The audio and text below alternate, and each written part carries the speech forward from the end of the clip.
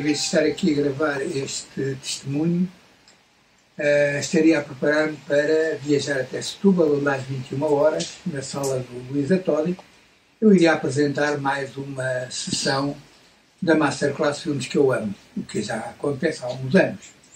A quarentena, porém, impõe distâncias e isso obriga-me a não estar junto de vocês, mas sim aqui confinado a enviar-vos estas palavras de consolo e de esperança.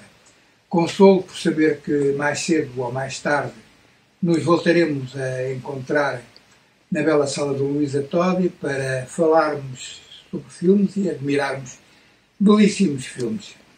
A esperança em que tudo isto uh, passe com uma relativa facilidade, enfim, não será muita, porque já houve muita tragédia, mas que nos possamos rever a todos com saúde e sempre com o espírito cinéfilo que nos caracterizou ao longo deste tempo todo.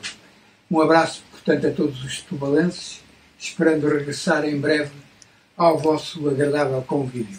E já agora mais uma nota, uh, espero igualmente inaugurar brevemente a Casa das Imagens, uh, com a minha biblioteca, a minha mediateca e o meu arquivo pessoal, que ofereci ao município de Setúbal.